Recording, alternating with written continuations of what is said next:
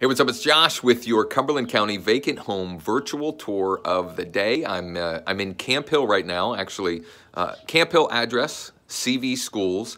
About to go take a virtual tour of this uh, this little beauty here.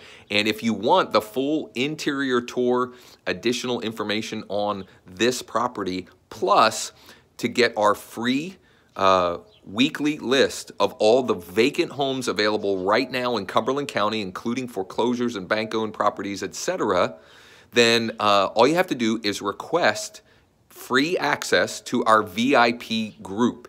And uh, there should be a link with this video somewhere. If there's not, just shoot me a private message or shoot me an email. I'll send you the link.